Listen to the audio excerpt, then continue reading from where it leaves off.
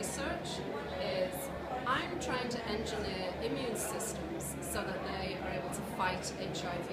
When people are infected with HIV, you know, one of the problems is that there is virus in their body, but the real problem is what that virus does to their immune cells. It gets into CD4 T cells and it kills them. I want to engineer the cells in the body, the stem cells that produce the CD4 T cells, and make them impenetrable to HIV so that HIV has nowhere to go.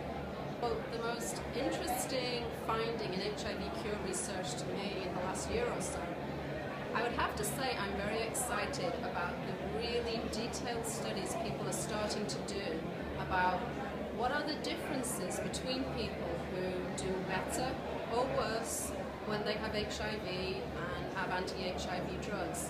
You know, we all know that it's, it's the same pill that everybody gets given.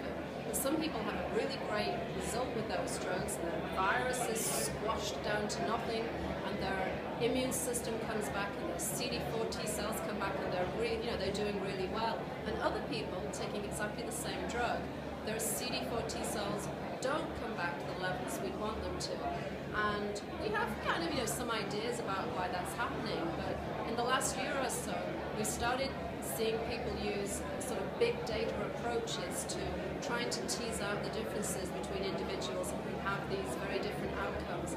And what's exciting about that is that when we start to understand the differences, just the inherent genetic differences between people that give rise to these different outcomes, we can take that information and we can start thinking about making drugs and therapies that use that information. Can you tell us a little bit more about what big data is? Oh, yeah. So big data is this catch-all phrase that just basically means stuff that's so complicated you can't write it down on a piece of paper or even understand it once you pass the age of about 21 and instead you have to put everything into really big computers and have the computer do the work for you. So really in this case it's about looking for patterns. It's saying here's all the millions and millions of different uh, pieces of information about two people. Here you go computer, tell me what's different about them. So, so big data is basically a way to take things that are too complicated for our human eyes and our human brains to understand, but we can use the power of computers to get the computer to do the work for us. Thanks. So we hear a lot of noise around us. We are uh -huh. currently at the International AIDS Society conference. There's a lot of people talking about a lot of interesting things. What are you most excited about seeing or doing at this conference? Okay, so we're actually at a sort of like a pre-meeting workshop that's specifically focused on HIV cure research. And you know, what's exciting to me is just the breadth of the approaches that people are taking. You know, no two talks are the same. And I love coming to things like this because just in a day and a half, everything gets crammed in. And sure, we don't know exactly where we're going at the moment. We don't know what the best approach going to be, but I'm very inspired by the fact that everybody's trying all these different approaches, everybody's sharing information, and just the level of energy and enthusiasm around talking about it is, is really high. And what I personally love is that the contributions we're getting from people who aren't scientists, people who are living with HIV, people who are members of the community, people who are their advocates.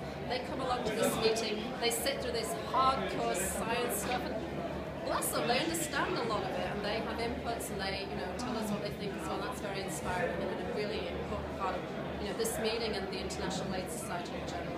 Great. How important has AMFAR been in supporting your work?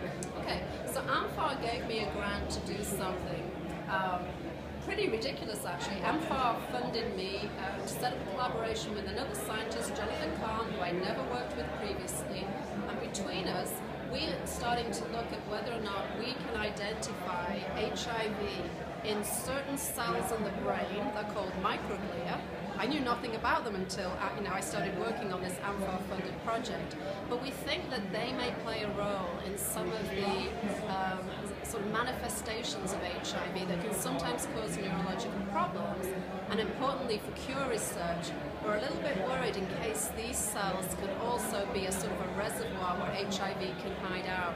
So we're looking at that. We want to find out if HIV can hide in these cells. And if it can, we're going to figure out how to zap HIV out of those cells and get rid of it. So it's kind of cool because it's, it's sort of um, you know, it's a it's a very sort of ambitious project, and we had no data to present. And what I love about AMFAR is that they say, you know, come to us with your good ideas and your crazy ideas, and we'll fund you anyway to go ahead and do it. So, especially if you want to have two people or more than two people come together.